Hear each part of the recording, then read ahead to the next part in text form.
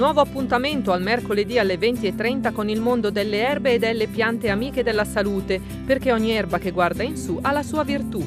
Impareremo a osservare, riconoscere e raccogliere erbe spontanee e piante, capiremo quali sono le loro proprietà e scopriremo come utilizzarle per il nostro benessere e la nostra salute.